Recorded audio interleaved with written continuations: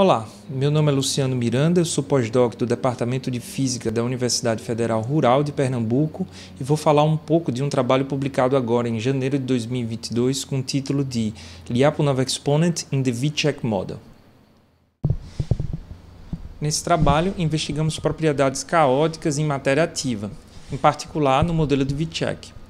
O modelo de Vitchek descreve a dinâmica de partículas autopropelidas, com velocidade de módulo constante e interações locais dentro de um raio de cooperação, considerando ruídos aleatórios e regras de alinhamento. O modelo de Vitchek é provavelmente a explicação mais simples para a emergência de comportamento coletivo em um sistema de partículas autopropelidas e por isso tem sido amplamente investigado. Mesmo, mesmo assim, não encontramos estudos sobre caos nesse modelo. Isso motivou meu grupo a propor uma forma de calcular o expoente de Lyapunov na dinâmica de Vitchek.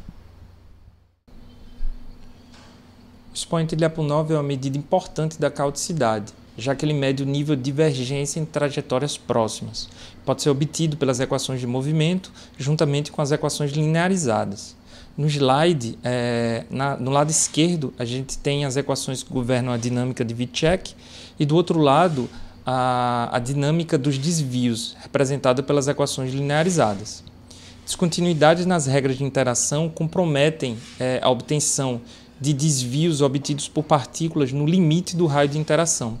Para contornar esse problema, nós sugerimos uma versão mais suave do modelo de Vitchek, que preserva as principais características do modelo original.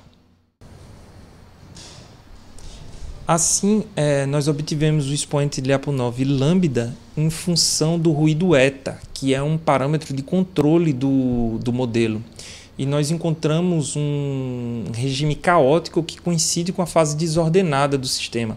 Sabendo que lambda positivo significa uh, caos, né? isso pode ser visto aí no gráfico à esquerda do slide.